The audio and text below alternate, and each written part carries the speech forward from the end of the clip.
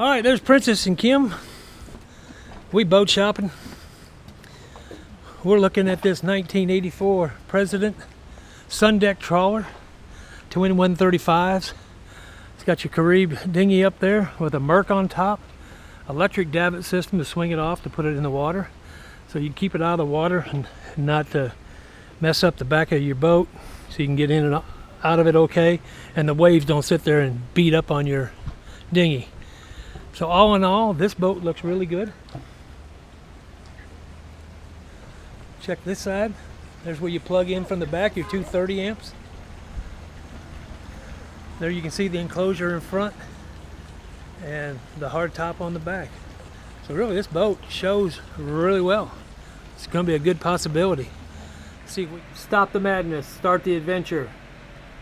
Some days here.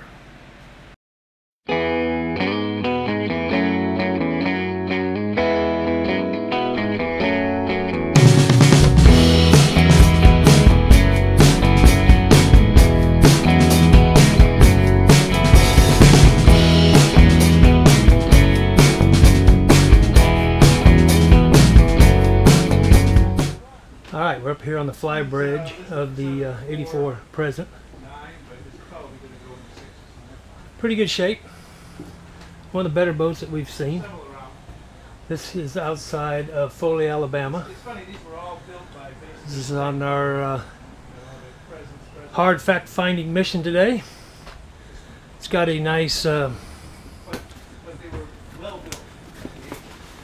nice Garmin up here. It's got the radar, autopilot, synchronizer. Looks really good. All right, here we are on the sun deck. It's got a hard top. We've got a sink here. No refrigerator on this model here. We'd have to figure out something to put here. But really good shape. Here's your davit pole that comes down, goes up through and hangs up above. I'll show you that from the outside. Your swim platform.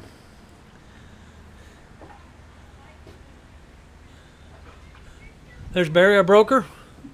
There's Kim. Hey. So here we go. Okay, let's go down below. Check this out. Four steps down in the main salon. Forward. You got your lower helm here. You got your dinette here. Plastic laminate tops. Wood looks really good. Got your refrigerator, freezer, gas stove, hot plate. You got your sharp carousel uh, microwave, double sink, lots of storage, lots of headroom. Going forward, got a double bunk port side, air conditioning controls,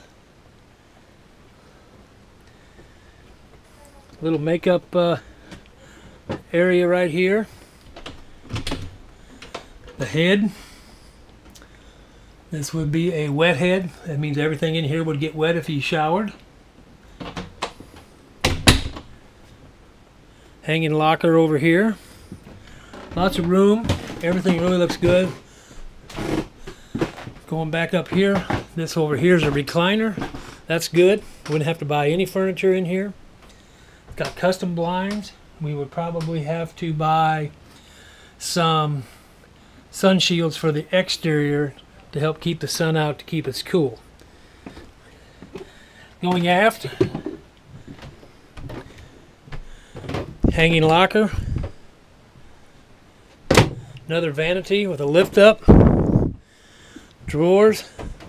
This is the only one. This is what you got to watch on these boats right here. See how soft that is? That's all rotted out. But that's the only one that we could find. And that's these portholes. Windows are the Achilles heel of these boats. So just remember that. All these up here, you got to make sure they're sealed up good. Other than that, everything in here looks good. Walk around queen. Nice bed, plenty of shelves, plenty of storage.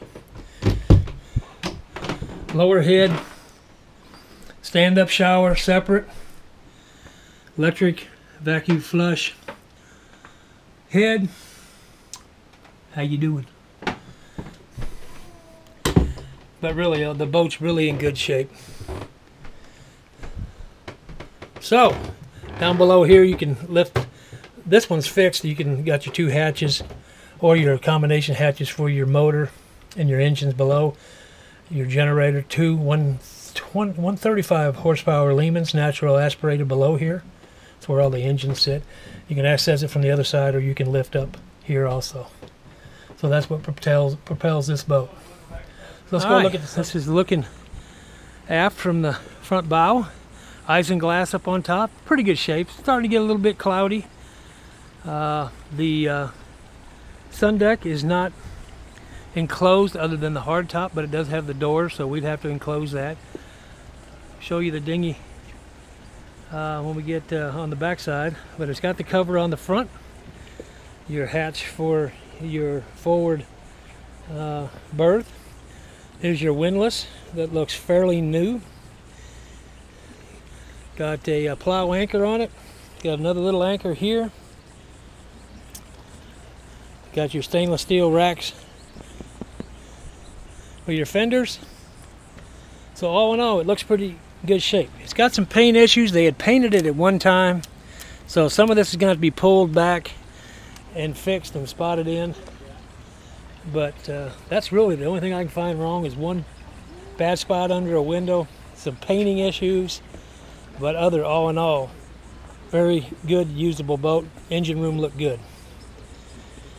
All right, let's go on down to the next one. See what we can find. Ooh, you see that right there? That's a floating log. That's why you always got to have somebody paying attention. You never know what you're going to run over. That right there could ruin your day. All right, let's go.